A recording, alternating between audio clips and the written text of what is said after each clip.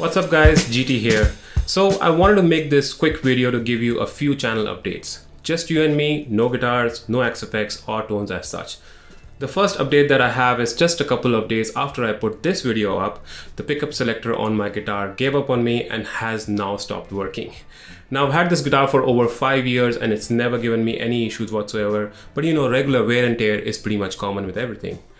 Which now means that given the current lockdown situation that we are going through here in Victoria, I cannot get this fixed. Plus, there is no availability of the parts here at the moment. And even if I do get one, I have to wait till the lockdown gets over to be able to visit a professional luthier to get it fixed.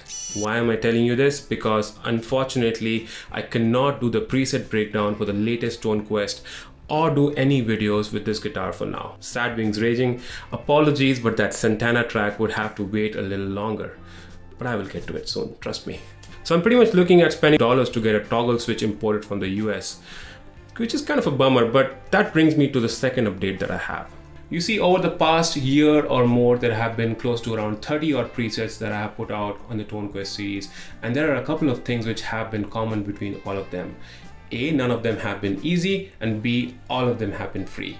You see, each preset takes a lot of research, a lot of practice, and a lot of patience to come up with. And as they say, you know, time is money.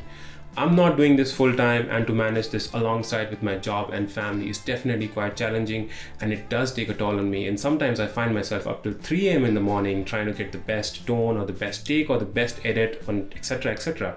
Don't get me wrong though, you know, I'm not complaining about any of it. Also, I've got a fair number of requests to ask me if I do custom presets and whether I'm open to charge some money to create them. So I've been contemplating for a while now and I've decided that going forward, the presets on this channel are going to be free. yes, they have always been and they will always be free. No matter how tiring or time consuming it is for me, I really enjoy what I do and I want to continue to do it. It's your amazing feedback that keeps me going, so keep that flowing. But with that said, I'm opening a way for you to contribute towards the channel and donate to keep the channel running and cover some of the running costs that I may have, like the ones I mentioned before. Now you may say, oh look, he's asking for money for his presets. Or you might say, you have more than 1000 subscribers, you should be making money from YouTube by now. Well, no and no. As I said, the presets and the knowledge that I share is free and will always be only and only if you are feeling generous and you like the presets and the content and want to contribute or you want to buy me a coffee or support me in any monetary way, you can go ahead and donate to my PayPal. I'll put a link in the description box. Again, it's not mandatory, it's purely up to you.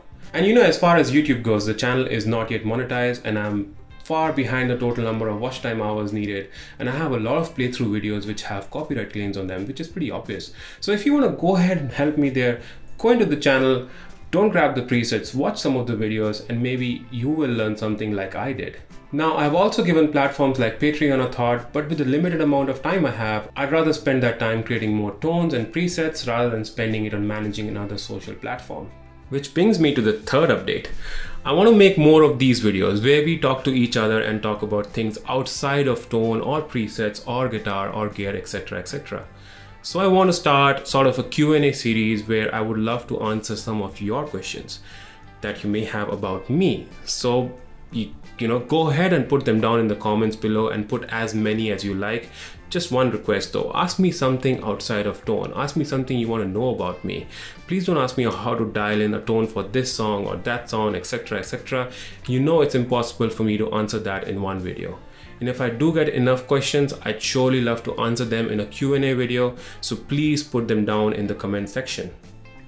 Well, that's pretty much it. And like always, I shall see you guys in the next video. And until then, stay safe guys, keep rocking. Cheers, bye bye.